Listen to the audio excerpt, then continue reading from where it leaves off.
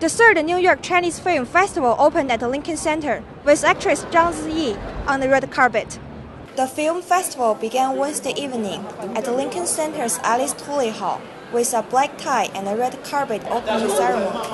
The event drew A-list Chinese stars, including actress Zhang Ziyi, Taiwanese actress-singer Annie Yi, actors Zhu Shimao, Fang Qingzhuo, Guo Tao, and Wang Luodan.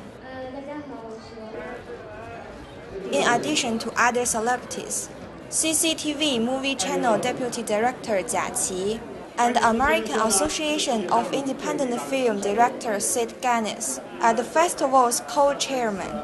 Chinese Consul General in New York Sun Guoxiang was also in attendance. The festival is presented by CCTV's Movie Channel and the Chinese American Arts Council. Its lineup features 12 recently successful films from China's film industry that will be shown at Manhattan's AMC Empire 25 Theater from Thursday, October 18th through Saturday, October 20th. Haidan Hu, China Daily, New York.